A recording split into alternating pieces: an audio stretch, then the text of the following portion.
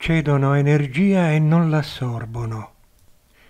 Foto di una minima parte dei 4.500 apporti prodotti presso il cerchio e seno attraverso lo strumento NT in quasi 43 anni di attività.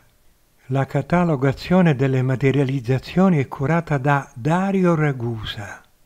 Alcuni oggetti apportati, sottoposti ad esame chimico-fisico, nella loro costituzione intima presentano caratteristiche sconosciute alla scienza.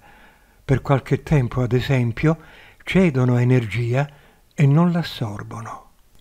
Altri apporti presentano altre caratteristiche improprie.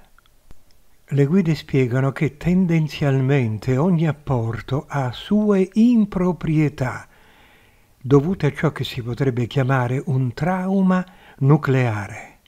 La similarità esperienziale vissuta dagli oggetti apportati non è riscontrabile con i mezzi della nostra scienza attuale.